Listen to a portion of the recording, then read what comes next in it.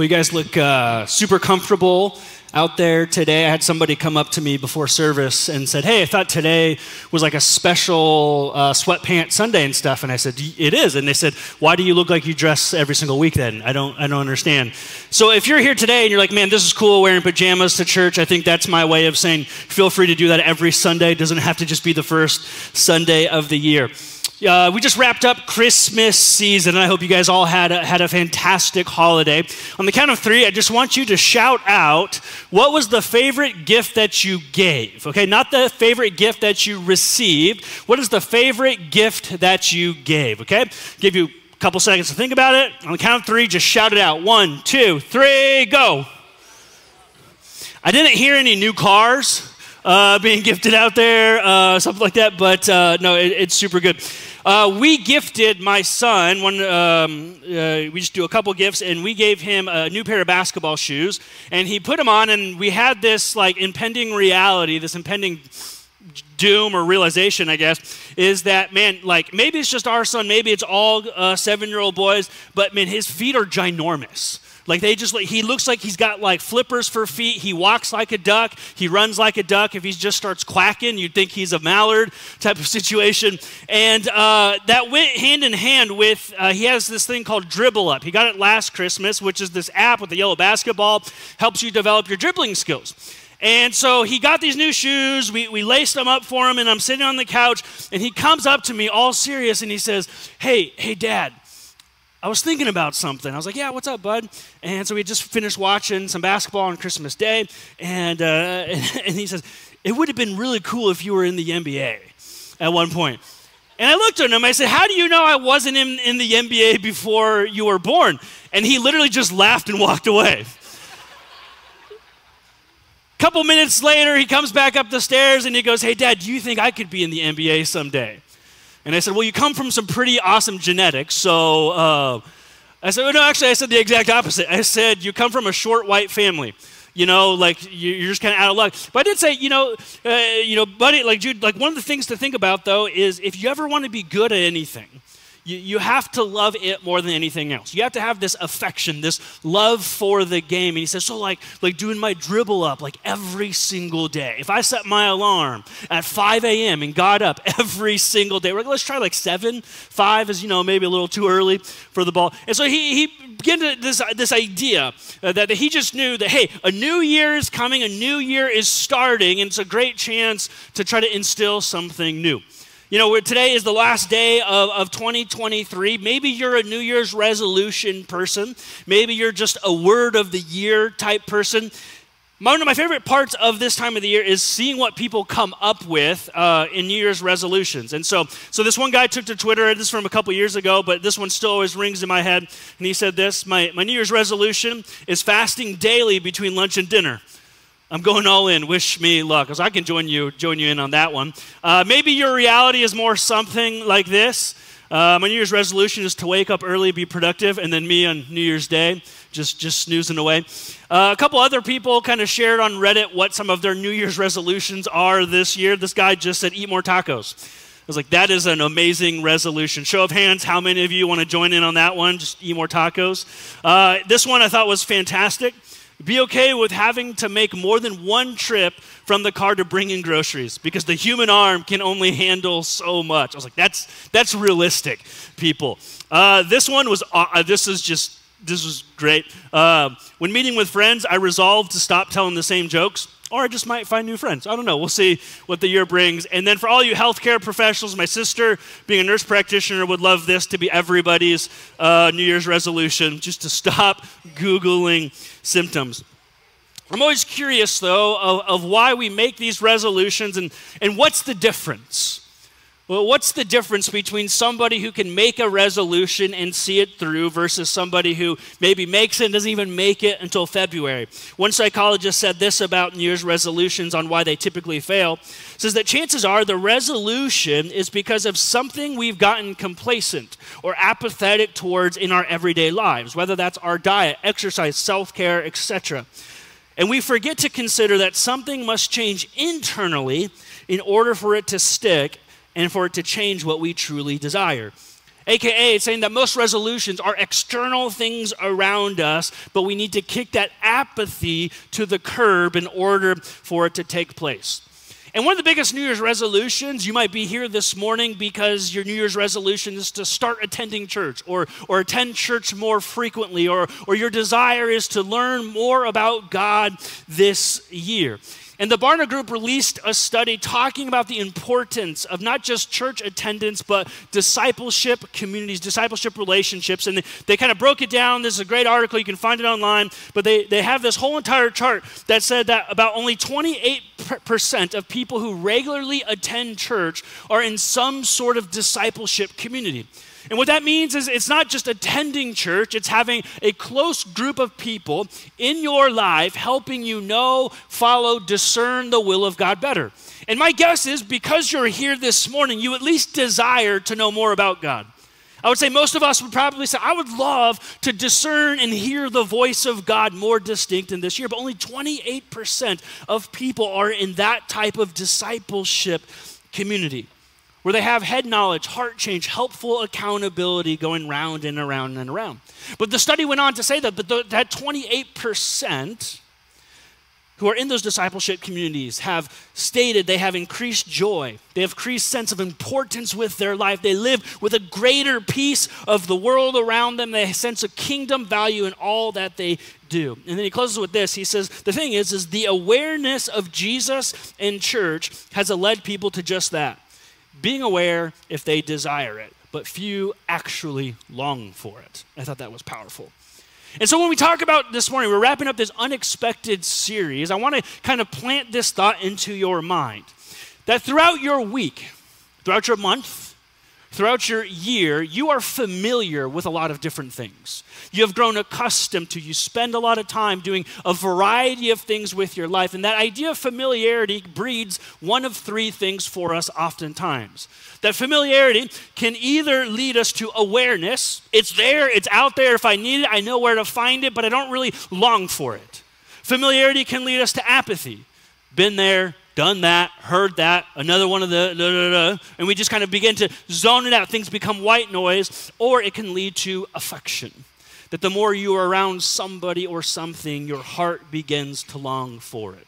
Because as human beings, we are naturally created to be, in some way or another, what we most consistently do what we must consistently think and desire. And so, if you have a Bible, I hope you do, uh, I invite you to join me in Luke chapter 2 this morning. We're wrapping up this unexpected Christmas series, Luke chapter 2. And we're, we're coming in on this story on the back side of the birth narrative of Jesus. And the kind of little context for you as you're turning there Matthew, Mark, Luke, John, the four Gospels, first four books of the New Testament um, give us the biography of the life of Jesus, Old Testament pointing us to the arrival uh, of, of our Savior. But Luke chapter 2, starting in verse 22, it gives this story of the first 40 days after the birth of Jesus.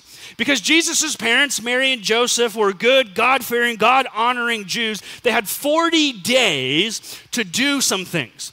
The first thing that they had to do is there had to be a burnt offering of a lamb as a, as a cleansing offering. Because of all, all the blood and all that type of stuff, it was an offering they had to do.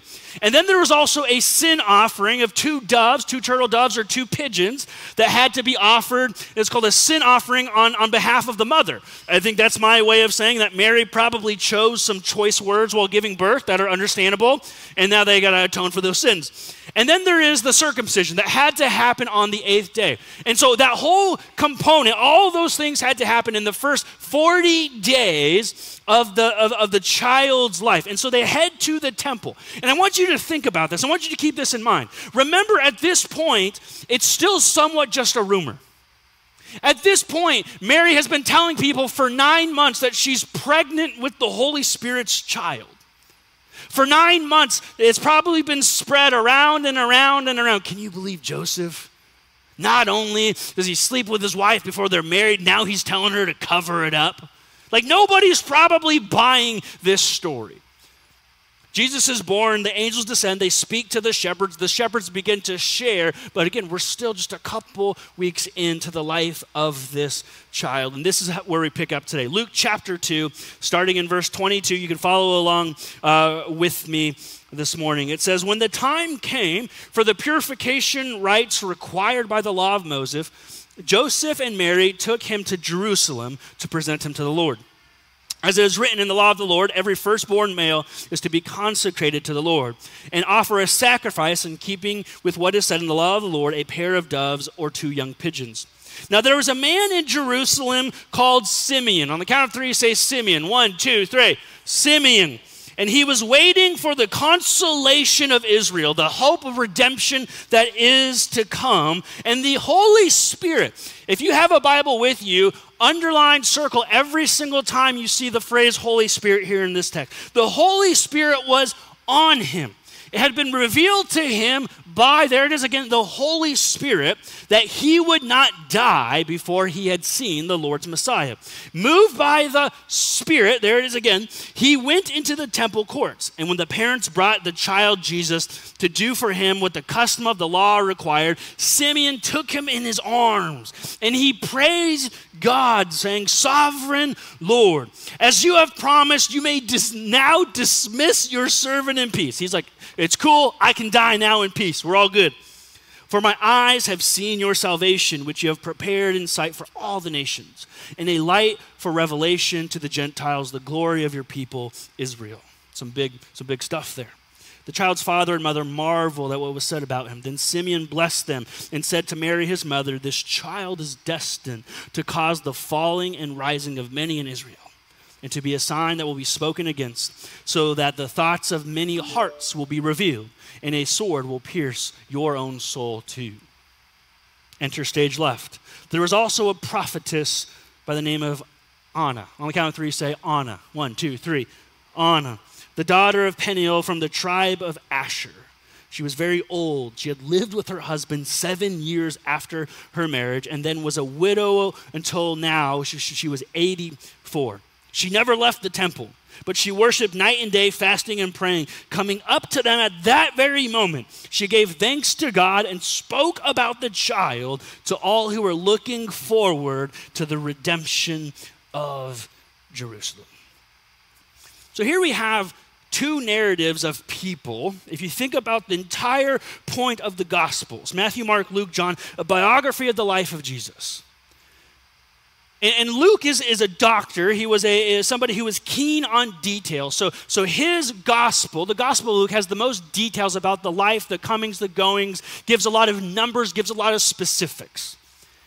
And here he finds it vitally important to include the stories of these two characters, these two people, that if you just erase those out of the Gospel of Luke, if they were never mentioned, the story of Jesus goes on. Not a single beat is missed. Nobody ever thinks twice about who they were. And so there must be something about Simeon and Anna in which Luke is saying you need to pay attention.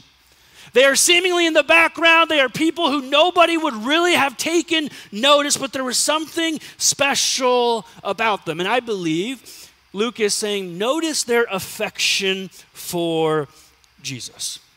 And so here we have Simeon. He's the first one mentioned. It says he was old, he was devout and righteous, which means he was in good standing before God, good standing before his community. He was a Jewish man. Since he was old, he would have had a long gray beard. So here we have an old man around the time of Christmas with a long gray beard who wants to hold a baby.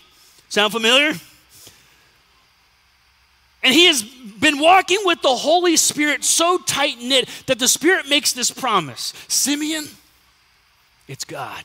And he's like, yo, what up? I, I hear your heart's desire. That of all the things you want to experience in this life, it's not fame, it's not fortune, your one true heart's desire is to see my Savior, your Messiah in the flesh. And seems like, yeah, that's, that's, that's my bucket list. Like you think about it like the, the concept, the notion of a bucket list. Top five things that they say the average person's bucket list. Number one is to see the northern lights or the Grand Canyon specifically for Americans. Anybody ever been in the Grand Canyon? Anybody see the northern lights before? Right? Pretty outstanding. Number two is to get a tattoo. And so it's not just a requirement to get on our staff, apparently. It's a big bucket list item for a lot of you guys. Number three is to uh, is either go on a, a cruise or a safari, one of the two. Uh, one of them's slightly different than the other, I feel like. Number four is to go skydiving. And number five is to swim with the dolphins. So I said, well, you can just skydive into swimming with the dolphins. You finish two off right before your, your last breath. Pretty easy, right? And you think of the concept of a bucket list. These are the things I want to do. This is what I want to accomplish. This is how I will know I lived my life well.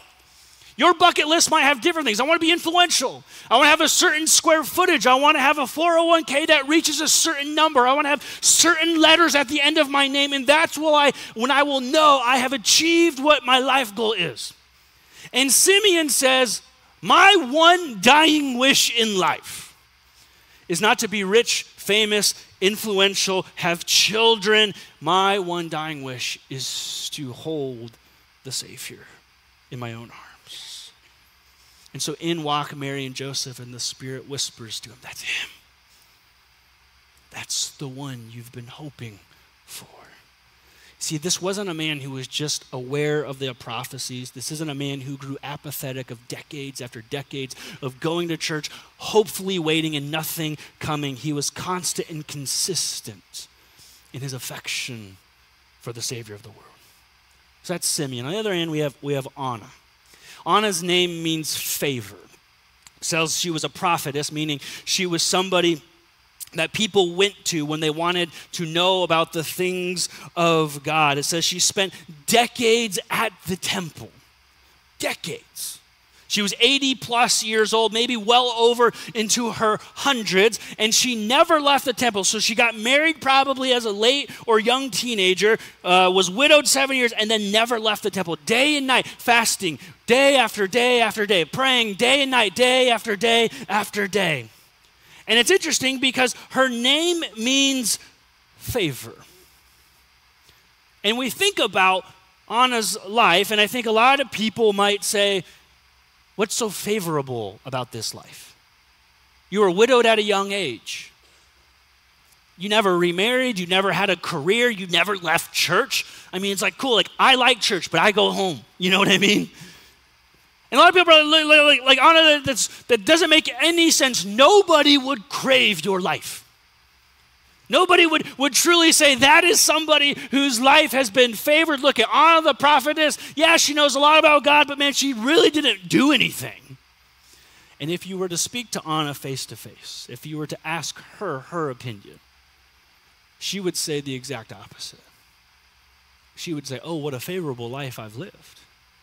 To know the voice of God, to be with Him day and night, for Him to never leave my side, and I am doing my best to never leave His.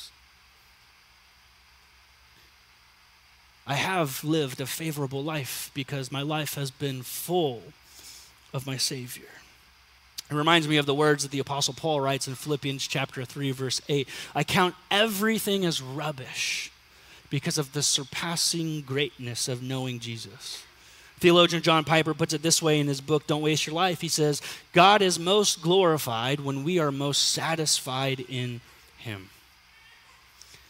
You have Simeon, you have Anna, kind of people from the outside looking in are probably a little skeptical of what they've been doing with their life for the recent decades. Are you really buying this, this baby's story? Are you really believing this whole thing that this child is somehow. Do you know where he was born? Are you aware of who his parents are? He's not royal in any way, shape, or form. They're not wealthy. Are you really expecting us to believe that you have committed your life and this is the conclusion you've come to. That this child, that this child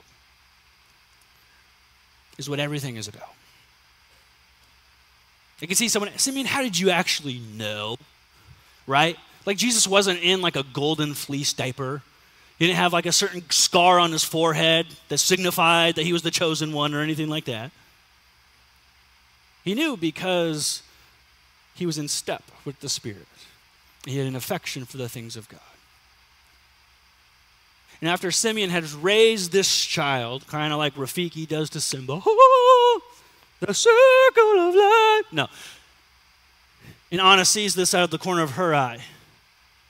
And she knows the thoughts and the hearts and how in step with the Spirit Simeon is. And she's like, He's it too. I know it.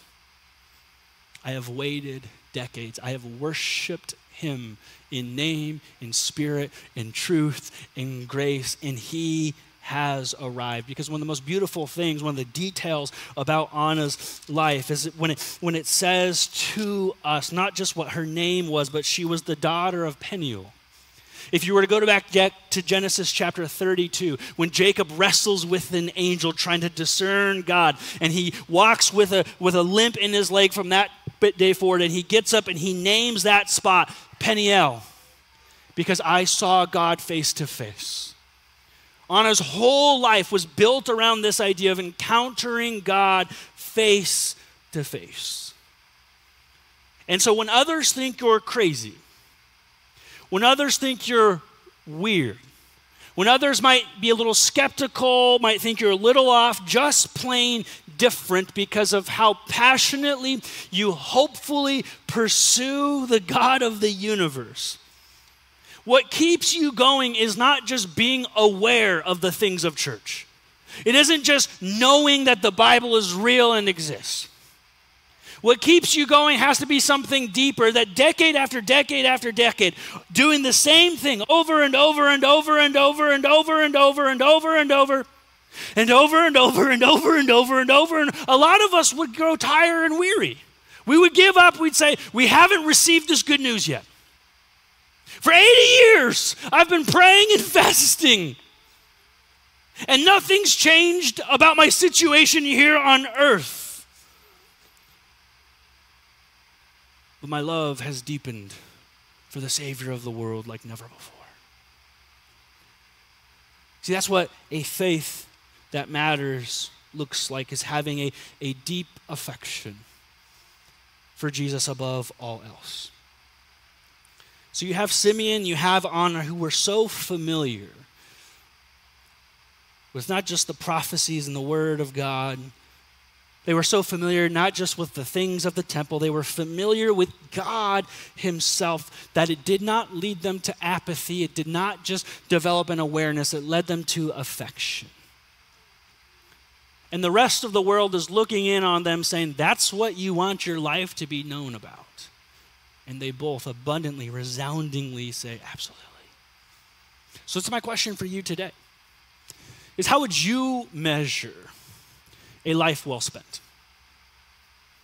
All said and done, how would you measure for yourself, for those around you, perhaps even for your own family, how would you measure a life well spent? You know, uh, my wife and I have been to, together for, oh gosh, math. 14, 15 years now, something like that. I don't know, somewhere around there. 15 years. And our, our first date, I'll tell you about our first date. Like, I was a super awkward person, still kind of am. Um, uh, some of you are like, okay, tell us something we don't know. That's cool. Um, and so, like, I saw her, the way we met, some of you guys know this story, is I hit her in the face with a dodgeball. Uh, so we were playing dodgeball. It was like second day of school. Uh, I was trying to peg my friend somewhere, and uh, he ducks and moves out of the way. And my wife, since she's really short, is just like running in the background and spoosh, just straight in the face. And then I was like, oh, sorry. And I was like, oh, she's kind of cute. So I go up to her and I said, can I walk you back to your dorm, blah, blah. And we get to talking. And then, like, I finally build up the courage, like, two months later to ask her out. Now, I had not really dated like one or two people at this point, and so just kind of like just like an uncomfortable situation for me. And so, like, I give her these note cards of like, where do you want to open this note card? It'll be a surprise, blah blah. In, in actuality, they all just led to the same place. Like, I didn't want to actually be caught off guard.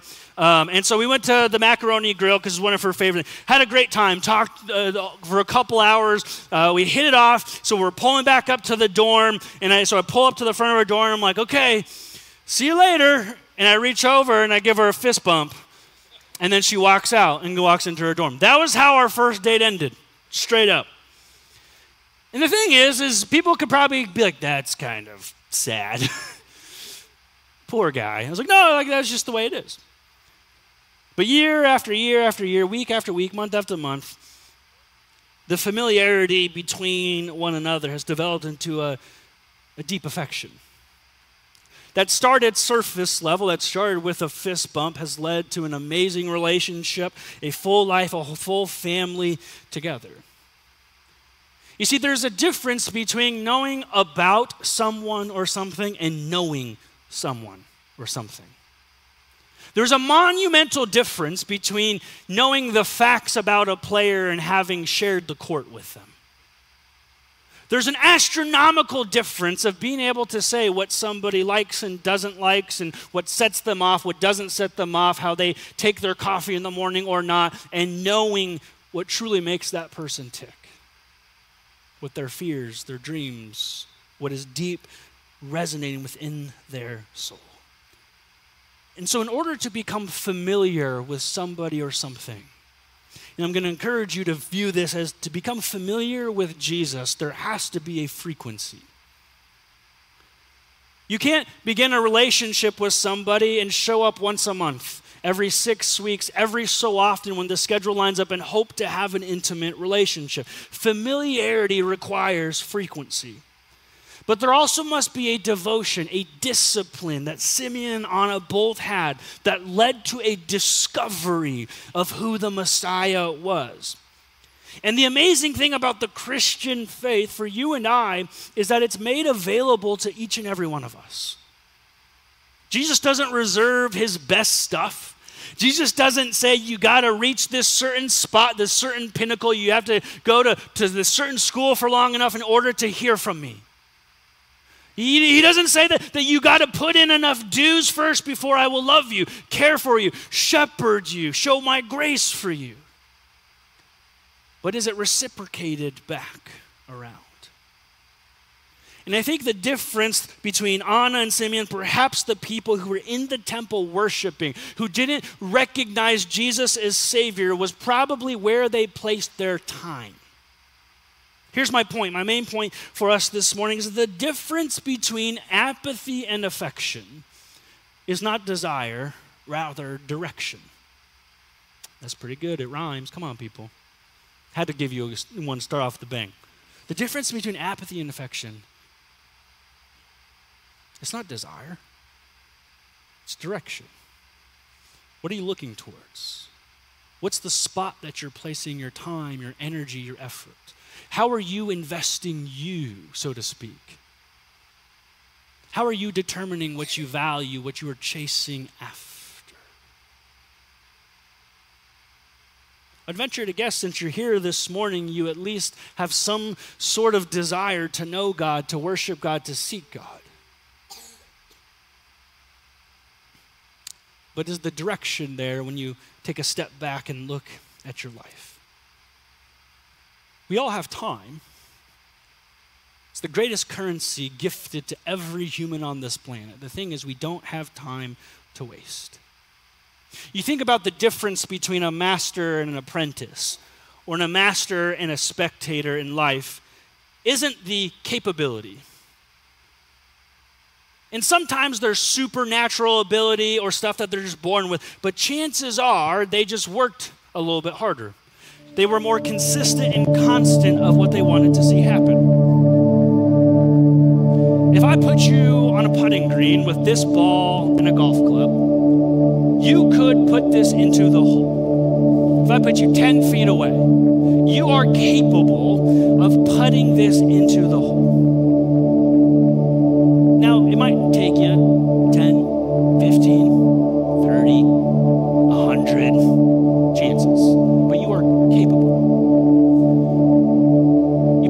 Woods down on that same putting green with the same ball and the same putter, chances are he hits it 10 out of 10 times.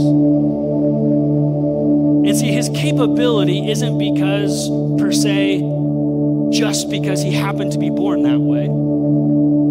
It's because he invested his time consistently and constantly into something specific. One of my favorite artists of all time is John Mayer. I think he's considered one of the greatest guitar players ever put a guitar in your hands, you could play scales. They would sound horrible, but you could play them. Your fingers are capable to some degree. Now, he's got like massively long hands, but still. You have the capability inside of you, but unless you did it consistently and constantly, you could never match up to what he does. take these hobbies and things away and put in something maybe a little bit more you. Consider this, this keyboard your job. Consider your workplace your career. There's other people that can probably do your job. There's other people that might be able to do your job better than you. And you might be fully invested, consistently trying to raise that to the next level. But just kind of sitting and showing up ain't gonna cut it. That if you really wanna see something, go from the place of just being an apprentice to a master, somebody who knows about to knowing it. It has to be consistent and constant. And so here's my, my recommendation, my point, my suggestion. If you're here this morning and your New Year's resolution or a thought or a yearning of your heart is I want to be able to worship God like Simeon. I want to know the voice of God like he did. I want to walk in step with the Spirit like Simeon did. I want to spend night and day in love with Jesus. I want to wrestle with him in a way so that I can proudly say, I am of the tribe of Peniel. I have seen him face to face. The question is, it comes down to this Are you consistently, constantly here? Are you consistently, constantly in His Word? Are you consistently, constantly praying, fasting, worshiping, serving, giving? Because at the end of the day, at the end of your life, how would you answer that question? What is a life well spent to you? One of the greatest pieces of advice I've ever received, received it in middle school, in eighth grade. And it was this line they say, write your eulogy, then live to fulfill it. It's like, man, that's so if I were to ask you, how do you want to designate, measure a life well spent? What might be on that bucket list? Is it to be somebody loving, somebody caring, somebody successful? Is it to be somebody who knows Jesus, understands the voice of God? And our hope, our desire for you as a church is that every single one of us aren't just aware that Jesus exists we don't want people who grow apathetic in their faith. We want people to be affectionate for their Savior. But unless there is devotion, unless there is discipline that is consistent and constant, we will never, ever get there. But the beautiful thing is, it's capable for us all because of His love and His grace. And so you might be stepping into 2024, ahead and say, This is going to be the year that's going to be different. This is going to be the year that my faith goes to the next level. This is going to be the year that I take this thing seriously. And I'm here, we're behind you, we support you, we are clapping and cheering you on. But at the end of the moment, I can't do anything for you, and it's got to be consistent and constant. What would 2024 look like? for you as an individual? What would 2024 look like for you as a family? What would 2024 look like for you as a couple, if you're in one? What would 2024 look like for us as a church if we all consistently and constantly strove for our affection of Jesus as our Lord and Savior? We're going to continue to worship through communion this morning. If you are a regular with us, or maybe you're just checking things out, um, every single week. You are more than welcome to participate with us if you are a member of the family of God, if you've taken Jesus as your Lord and Savior. My encouragement as the timer gets ready to come onto the screen, as you take the elements, the cracker that represents the body of Christ broken for you, the juice that represents the blood of Christ shed for you,